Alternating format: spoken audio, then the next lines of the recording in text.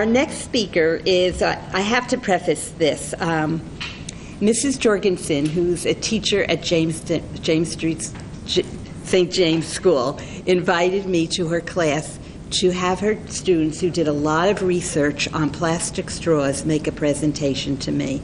And I have to say, I was so wowed by these young people and the presentations they made and how much I learned from them.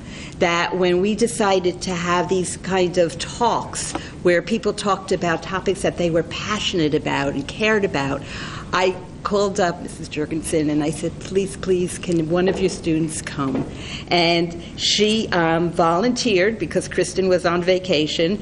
She volunteered Kristen Valendo to come and be a speaker here today. So um, be prepared to never use a plastic straw again. So, Kristen, come on up.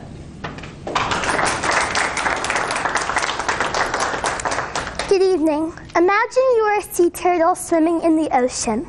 You are used to a clean and peaceful environment, but one day your habitat is polluted by plastic. A plastic straw is lodged up your nose. Imagine the pain that this would cause you. This is not a hypothetical situation.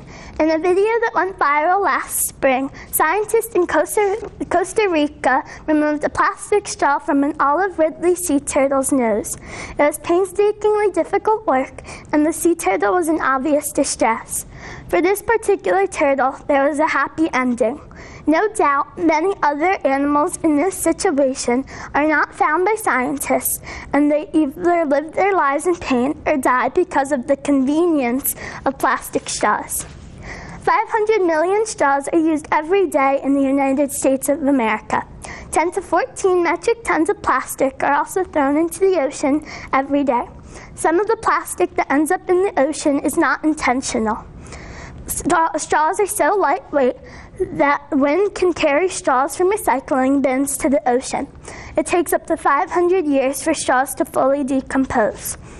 When straws are thrown into the ocean, they turn into smaller pieces called microplastics instead of biodegrading.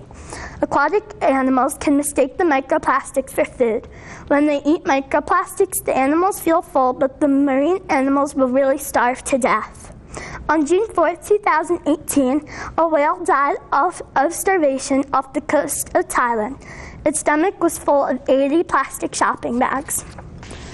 Many places around the world have started to ban plastic straws or give alternative paper straws. New York City and California are among the places that have pending bans on plastic straws. Seattle, Washington, Miami Beach, Florida, and Monmouth Beach, New Jersey have already banned plastic straws. Starbucks is phasing out plastic straws by 2020. While I was in Disneyland last week on vacation, I didn't see a single plastic straw because Disney is phasing out plastic straws by mid 2019. For people who like using straws, there are also many alternatives. Some alternatives are paper straws, straws made out of straw, licorice straws, bamboo straws, and reusable metal straws. All of the non reusable alternatives would biodegrade quickly. For example, paper straws take only two to six weeks to decompose, and you can also eat licorice straws after you use them. It is important for us to take care of our oceans because our actions affect the many marine organisms that call the ocean their home. Our actions don't only affect us, they can harm many other living things on Earth. Once the damage we cause is done, we cannot go back and change what we have already caused to our planet. We need to make decisions now that will help make the Earth healthier in the many years to come. I'd like to see people willingly stop using plastic straws. If you really need to use a straw, you can use an alternative material, but think before you use. It would be great if restaurants and businesses stopped giving plastic straws to their customers. The businesses and restaurants could provide an alternative material, such as paper straws, to their patrons who need straws. Perhaps Woodbridge Township could consider banning plastic straws as other towns have already done. This would make our town, our oceans, and help our entire world become healthier and greener for everyone and everything that lives here. By the way, the shirt I'm wearing today is made from six and a half recycled plastic bottles. Thank you.